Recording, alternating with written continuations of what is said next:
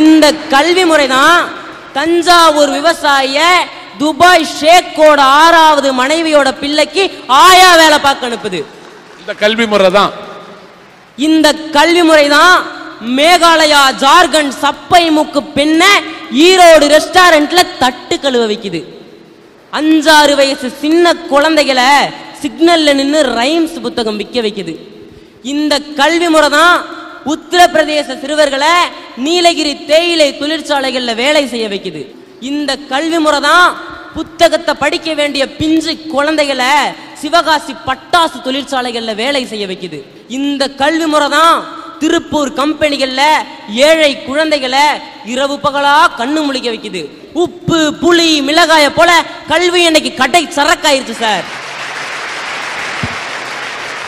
இந்த கல்வி முறையே சரியில்லை. இந்த கல்வி முறையை பத்தி தான் உங்ககிட்ட நான் பேச வந்திருக்கேன்.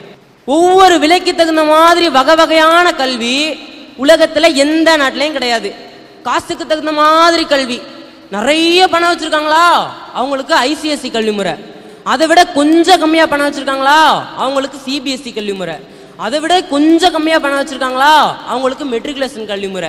ஒண்ணுமே இல்லாத எங்க மாதிரி ஏழை குழந்தைங்க அரசு பள்ளியில ஒரு கல்வி முறையில படிக்கிறாங்க.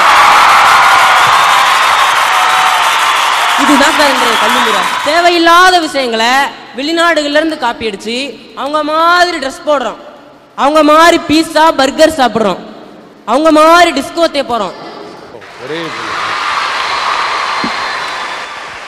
ஆ, அவங்கள மாதிரி ட்ரெஸ் போடுறோம். அவங்கள மாதிரி பீஸா பர்கர் சாப்பிடுறோம். அவங்க மாதிரி டிஸ்கோத்தே போகிறோம் ஆனால் அவங்கக்கிட்ட நிறைய நல்ல விஷயங்கள் இருக்குது சார் அந்த விஷயங்களை நம்ம காப்பி அடிக்கிறது இல்லை அது என்னன்னா அங்கே எல்லாத்துக்கும் ஒரே மாதிரியான சமமான கல்வி முறை தான் இருக்குது மந்திரிகளோட குழந்தைகளாக இருந்தாலும் சரி பெரிய பணக்கார வீட்டு குழந்தைகளாக இருந்தாலும் சரி ஆடு மாடு மேய்க்கிறவங்களோட குழந்தைகளாக இருந்தாலும் சரி ஒரே கல்வி முறையில் ஒரே ஸ்கூலில் ஒன்றா உட்காந்து படிக்கிறாங்க. ஆனால் நம்ம நாட்டில் மந்திரிகளோட குழந்தைகளும் பெரிய பணக்கார வீட்டு குழந்தைகளும் எங்கே படிக்கிறாங்க? சாதாரண கூலி தொழிலாளி குழந்தைகளும் ஆடு மாடு மேய்க்கிறவங்களோட குழந்தைகளும் எங்க படிக்கிறாங்க? நீங்களே சொல்லுங்க சார். குழந்தைங்க கிட்ட இருக்க ஒரு ஏற்ற தாழ்வுகளையும் ஏழை பணக்காரர் என்கிற வேறுபாட்டையும் நீக்கிறது தான் ஒரு கல்வி முறையோட பையன் அதுதான் அதோட வேலை. ஆனா இந்த கல்வி முறை மேலும் மேலும் ஏற்றத்தாழ்வுடைய ஒரு சமுதாயத்தை தானே சார் உருவாக்குது? சபாஷ். ஒரு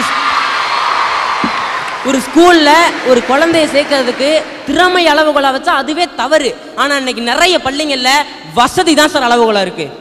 ஆ ஆ இ ஒன்று ரெண்டு மூணு ரெயின் ரெயின் கோவே இது எல்லாத்தையும் காசு கொடுத்தா நம்ம வாங்குறோம். இதுக்கு பேர் கல்வியா சார்? வியாபாரம். க-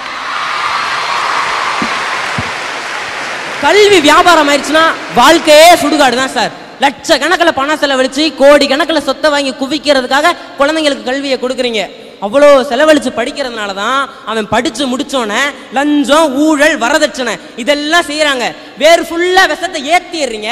அப்ப பழம் மட்டும் இனிக்குமா?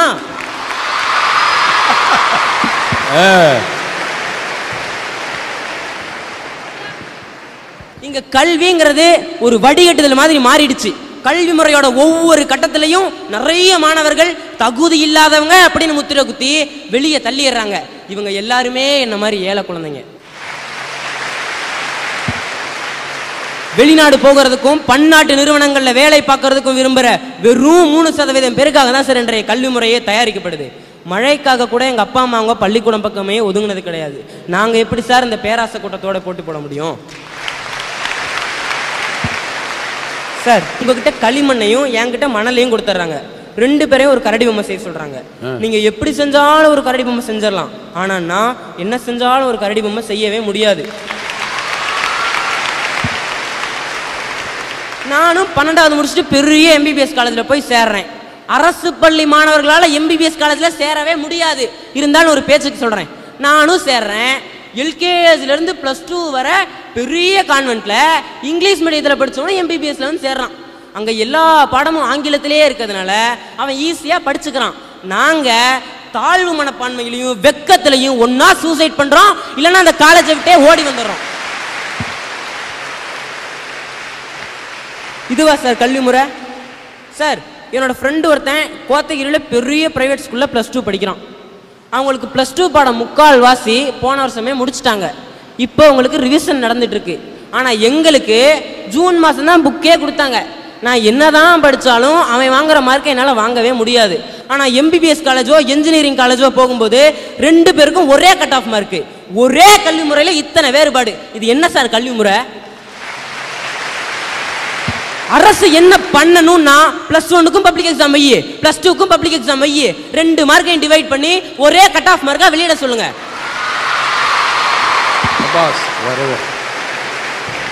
இல்லைன்னா அரசு பள்ளிகள்லையும் பிளஸ் டூ பாடங்களை பிளஸ் ஒன்ல இருந்தே நடத்த சொல்லுங்க. அப்பதான் என்ன மாதிரி ஏழை குழந்தைகளுக்கும் எம்பிபிஎஸ்ல இன்ஜினியரிங்ல ஃப்ரீ சீட் கிடைக்கும். ஆரம்ப கல்வி நிச்சயமாக இலவச தரமான கட்டாய கல்வியா தாய்மொழி வழி கல்வியா இருக்க வேண்டும் என்று ஆயிரத்தி தொள்ளாயிரத்தி நாற்பத்தி எட்டுல உருவான சர்வதேச பிரகடனம் சொல்லுது. இங்க முனுசாமிக்கும் கண்ணம்மாக்கும் பிறந்த குழந்தை ஸ்கூல்ல தமிழ்ல பேசினா தண்டனை தர்றாங்க. அம்மான்னு மகன் கூப்பிட்டா சந்தோஷப்படாம இவ்வளோ செலவு பண்ணி ஒன்று அம்மான்னு கூப்பிடுறதுக்கா இங்கிலீஷ் மீடியம் சேர்த்தேன்? மம்மின்னு கூப்பிடுன்னு குழந்தைய அடிக்கிறாங்க. நம்ம தமிழ்நாட்டில் தாய்மொழி வழி கல்வி அப்படிங்கிறதே அழிஞ்சிட்டு வருது சார். ரெண்டு வெள்ளைக்காரங்க சந்திச்சா ஆங்கிலத்தில் பேசிக்கிறாங்க. ரெண்டு இந்திக்காரங்க சந்திச்சா இந்தியில் பேசிக்கிறாங்க. ரெண்டு மலையாளக்காரங்க சந்திச்சா மலையாளத்தில் பேசிக்கிறாங்க. அவங்க பேசிக்கிறாங்க அப்படிங்கிறது முக்கியம் இல்லை சார். தாய்மொழி அப்படிங்கிற ஒரு கர்வத்தோட பேசிக்கிறாங்க. ஆனால் ரெண்டு தமிழர்கள் சந்திச்சா மட்டும்தான். ஹாய் யூயா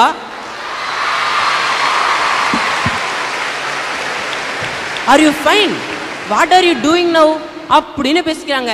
நம்ம தமிழ்நாட்டில் தமிழ் தெரியாத ஒரு தலைமுறை உருவாயிட்டு வருது சார். அனைத்து பாடங்களையும் ஆங்கிலத்திலேயே சொல்லித்தரது வீட்டில் எப்போதும் கூப்பிடுற அம்மா அப்பாங்கிறதெல்லாம் இங்கிலீஷ்லேயே கூப்பிட வைக்கிறது. ஒரு நாட்டையே ஆங்கிலமயமாக்குறதுங்கிற ஒரு கொடிய தன்மை. இந்தியாவில் இருபது கோடி குழந்தைங்க இருக்காங்க. அதில் மூணு கோடி குழந்தைங்க ஸ்கூலில் சேரவே இல்லைன்றாங்க. இந்த குழந்தைங்க தான் கடத்தப்படுற குழந்தைகளாகவும் தெருவோர குழந்தைகளாகவும் பிச்சை எடுக்கிற குழந்தைகளாகவும் இருக்காங்க. அதை உருவாக்குறது இன்றைய கல்வி முறை. ஒரு பொது பாடத்திட்டத்தை மட்டும் கொடுத்துட்டு சமச்சீர் கல்வின்றீங்க என்ன சார் சமச்சீர் கல்வி தமிழ் மீடியத்தில் புக்கெல்லாம் தமிழ்ல இருக்கு. இங்கிலீஷ் மீடியத்தில் புக்கெல்லாம் இங்கிலீஷ்ல இருக்கு. இதுக்கு பேர் சமச்சீர் கல்வியா சமச்சீர் கல்வினா என்ன?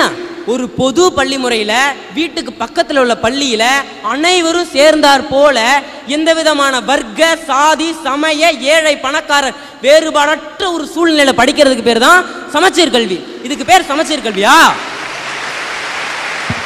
யாரை ஏமாத்திர வேலை செய்றாங்க? பள்ளிக்கூடங்களை என்னைக்கு கான்கிரீட் கட்டடங்களை நடத்த ஆரம்பிச்சாங்களோ அன்னைக்கே கல்வி பணக்காரங்கிட்ட போயிடுச்சு சார். கல்வியை விற்கக்கூடிய சமூகம் ஒரு வெக்கங்கட்ட சமூகம் சார். இந்தியாவில் பல்கலைக்கழகத்தில் படிக்கிறதை விட ஆரம்ப பள்ளியில் படிக்கிறதுக்கு அதிகமாக செலவாகுது. உலகத்திலேயே கல்விக்காக மிக குறைஞ்ச நிதியை ஒதுக்கும் நாடுகளில் இந்தியா ஒன்று ராணுவத்துக்காக நாற்பத்தேழு சதவீதம் நிதியை ஒதுக்கிற நமது அரசு கல்விக்காக வெறும் மூணு சதவீத நிதியைத்தான் ஒதுக்குது. கல்விக்காக ஒதுக்கப்படும் நிதி எதிர்கால இந்தியாவின் வளர்ச்சிக்கான முதலீடுங்கிறத நம்ம பொருளாதார மேதைகளால் ஏன் சார் புரிஞ்சுக்க முடியல? எங்களோட உயிருக்கும் உடைமைக்கும் எதிர்காலத்துக்கும் உத்தரவாதம் கொடுக்கக்கூடிய ஒரு கல்வி முறைய கல்வி அமைப்பை நீங்க உருவாக்கியே தீரணும். நிதி இல்ல வழி இல்லைங்கிற வழக்கமான பிச்சைக்காரத்தனமான பல்லவிகளை நிறுத்திட்டு தங்களோட குழந்தைங்களுக்கு தர்ற மாதிரியே தரமான கல்வியை எல்லா குழந்தைகளுக்கும் தந்தே ஆகணுங்கிற உறுதிப்பாடு அரசுக்கும் ஆட்சியாளருக்கும் வந்தே ஆகணும். சாராய கடைகளை தேசியமயமாக்கிட்டு கல்வியை தனியாருக்கு தாரை வாத்து கொடுக்கறதுங்கிறது ஒரு அவமானகரமான குற்றம். நமது தாயின் மணிக்கொடி பட்டொளி வீசி பறந்து அறுபத்தாறு ஆண்டுகள் ஆயிடுச்சு. இந்த கல்வி முறையால ஒவ்வொரு குழந்தைங்க இறக்கும் போதும் தேசிய கொடி தானே அரை கம்பத்துக்கு இறங்கிருது பிச்சை எடுத்து உயிர் வாழ்றதை கேவலமா நினைச்ச இந்த சமூகத்துல தான் கற்கை நின்றே கற்கை நின்றே பிச்சை புகினும் கற்கை நின்றே என்று பாடுனா அரசனும் கவிஞனுமான அதிவீரராம பாண்டியன். எல்லோரும் சேர்ந்து பிச்சை எடுத்தாவது பெரும் நிதி சேர்த்து எங்களுக்கு உண்மையாலுமே தரமான கல்வியை தரணும். எதிர்கால இந்தியாவை நாங்கள் பார்த்துக்குவோம்.